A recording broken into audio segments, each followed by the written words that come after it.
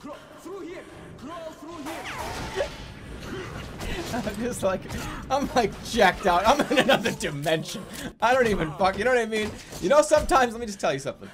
When you're, I am so checked out right now.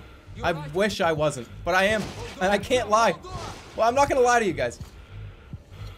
I'm just so checked out.